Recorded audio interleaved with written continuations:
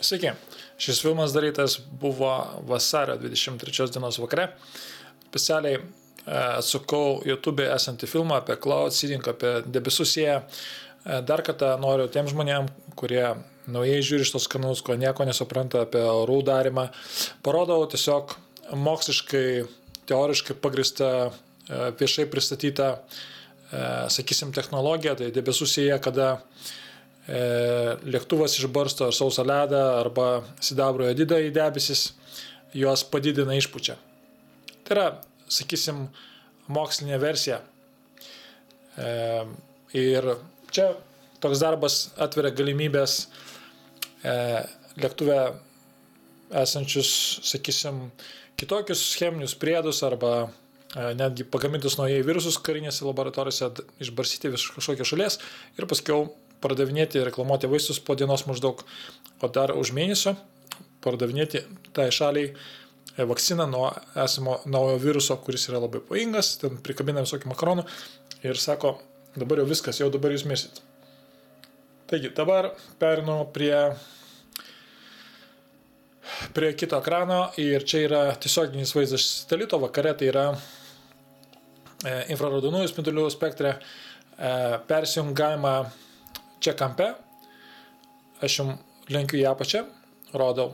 E, ir yra visual, visible ir infrared. Ir paskiau dar greitis. Pritraukiu, parodysiu.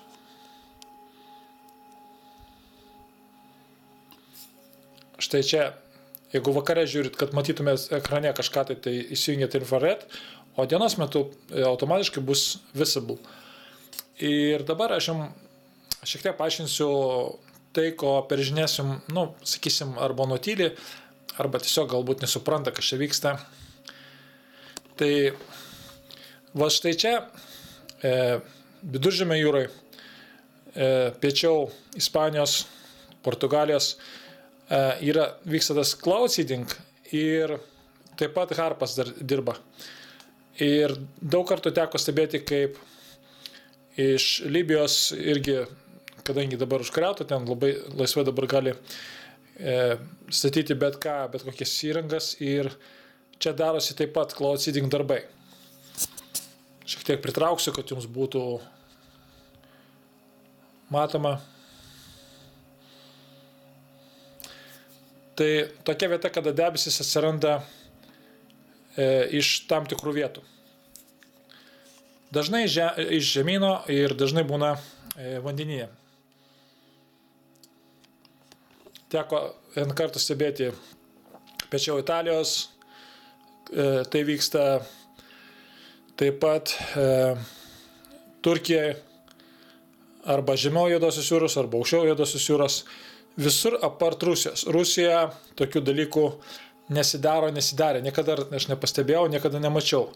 Bet vad, kad nugrūda visą tą chemiją, kuri eina nuo Atlanto, dabar šiaip nuo vandenyno, bet jeigu irgi pasižiūrėtai, ten irgi matosi lėktuvų palikti šuorai, tie chemtrailai. Ir visą tai užsirečia. Šaltas oras eina iš viršaus, plus dar debesis skirtingam aukštį, visas tas mėšlas ateina ant Lietuvos. Lietuva yra čia. Ir matote, koks dabar ožas debesų gan storas užėjo ant Lietuvos. Nors nesiniai vakarą dar vaikščiau ir e, kalbėjau su kitais žmonėmis, gyvenančiais kitose Lietuvos vietose, sako, buvo gedras dangus. Gerai, dabar jums parodysiu, kaip atrodo debesų storis. Tai štai, vat, dabar Lietuva čia yra. Ir vat ant Lietuvos, vat, visas tas susiriečia Raudonas spalva rodo įtin storius debesis, tai yra per visą aukštį nuo, nuo kilometro iki 10 km aukščio, maždaug tarsi didelis debesų storis. Paskiau geltona, žalia, mėlyna ir tamsiai mėlyna. Ir jie paskiau sėda. Tai liktai čia viskas ir gerai, liktai nieko mes nepastebėsim, jokių, sakysim, anomalijų. Aš noriu specialiai jums palyginimui rodau šitos dalykus. E, liktai niekas nenusižiūrė, niekas nenusiema, ir viskas važiuoja toliau. Ir pagal tokį kiekį dabar, e, pažiūrėtume čia arba Rusijai, dešiniau, Čia, pavyzdžiui, čia yra daris košmaras. Ir atsiminkit šitą vietą, e, parodysiu kitam langelį, kada atidarysiu aš lietaus radarą, parodysiu kritulius. Dabar perengiu kritulių langą. Ir dabar žiūrėkit, kas čia darosi. Tas raudonas rožas harpo e, apdirbamas iš, iš satelitų ir bandoma įkurti lietų. Ten nelabai gaunasi, matosi, keitinėjasi pastoviai e, sakysim, galbūt nuo Aleskos eina e, tokia juosta kaip, kaip valytuvo, pavyzdžiui, galbūt dar viena linija eina čia. O tai dirbama tokiu ruožu. Ir dabar, žiūrėkit, susirandame Lietuvą. Lietuvoje lietaus nėra, jisai dinksta. Pritraukiu šiek tiek arčiau, kad matytumėt veiksmą. Va štai eina tie debesis, mes matėm, kad jie eina va tokiu storiu, kaip įsirėtęs, kaip bananas. Ateina net ne balta, o mėlynas spalva ir tamsiai mėlyna, tai prasme, tai yra daug labai kritulių ir va štai Lietuvoje dinksta. Kas darosi? Aš jums visose filmuose apie orus kalbėjau. Gera energija, kitokia energija. Tai yra tiegi, e, neigiamai į neigiami jonai. Neonai išleisti į orą E, sakysim, veikia įranga ir apie ją galėsite pasižiūrėti filme. Nuorodo šio filmo bus e, padėta komentaruose, aprašyme taip pat. Ir dalis iš tos įrangos, e, kurią man padovanojo Vokietija žmogus, aš atsivežiau Lietuvą. Ir štai jinai dabar veikia. Tokios sotelės veikia dar kitose vietose, ne tik mano namuose ir kitur Lietuvoje. Ir štai ką padaro keli žmonės sakysim, e, Lietuvos mastu. Dar kartą perrengiu kitą puslapį, kur yra debesų storis. Matot? Lietuva yra čia. Tai prasme, pats įkarštis dabar. Liktai turėtų eiti lietus ten ar sniegas, ko gero, snigti labai stipriai. Ir perrengiu E, lietaus e, kritulių radarą, nieko nėra, faktiškai prapuola. Gali šiek tiek smulkiai labai snyguriuoti, labai nedaug. Pasivaizduokit, kas darytųsi, jeigu visą tą įrangą išjungti. E, jos poveikis, jeigu jums parodyt, mm, sakysim, Europos mastu, tai maždaug toks maždaug spindulys. Kadangi nukreipta dabar į Skandinaviją, tai ten, matote, kritulių nėra. E, tada gaunasi toksai išlenktas lapas, kadangi e, pati įranga stovi ne vertikaliai, sakysim, o palenktas žemyn vamzdis, kažkur apie 5 laipsnių kampu, tai jo negali blokuoti nei harpas iš dangaus e, ir negali ir rasti net pačio šaltinio, dursme, iš kur tai eina.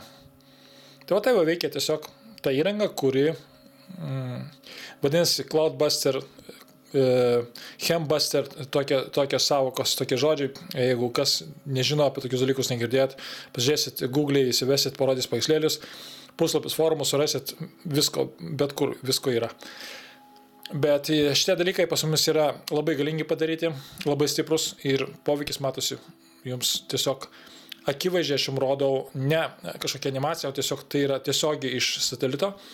Kanalas, e, e, nuoroda čia yra sat22.com ir paskiau, kada jūs įsivesit e, puslapį, atsiras e, vėliavų, sakysim, e, kalbų sąrašas, jūs jį kryžiuką paspausit, kad išnyktų ir tada atsiveria šitas langas. Dieną jisai bus kitaip, jis natūraliai atrodys debesis.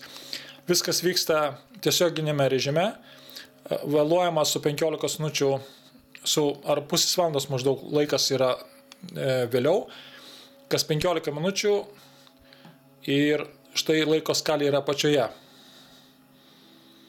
2 valandų laikotarpė. Ir ten galima sustabdyti vaizdą čia arba paleisti po kas 15 minučių intervalą. Tai va štai čia šiluma, kuri šiaip turėtų ateiti į Lietuvą ir ją blokuoja tas šaltis dirbtinai kūrimas. Aš sakau tikrai dirbtinai, aš tikrai e, nesu žalės tose reikaluose. Ne vienus metelius šitam dalykui padės ir esu labiau praktikas negu teoretikas. Aš nieko netikiu, aš jums sakau, tusme, tai, kas yra išbandyta, aš žinau, kaip tai išjunginėti, kaip tai veikti. Ir todėl mm, aš jums dabar tai tiesiog drąsiai parodau, sakysim, su tokia šiek tiek pidžiugiška šypsena veidė, kad tie darbai, kurie kažkur tai kažkam tai sekasi daryti, Lietuvoje neišeina.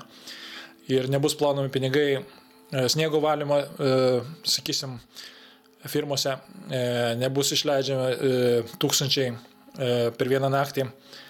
Ir tos galima pinigus taupyti ir tiesiog paleisti kitur, šelbti šeimas, kurios vargsta pasadyti šeimos, šeimoms, sakysim, pradėti vaikų darželį, daryti vieną, kitur, trečią, ketvirtą ir, aišku, daryti darbo vietas žmonėms, kurie to darbo reikalauja. Tai tiek, su jumis buvo Robertas Maskevičius, ačiū, kad žiūrite, iki malnos.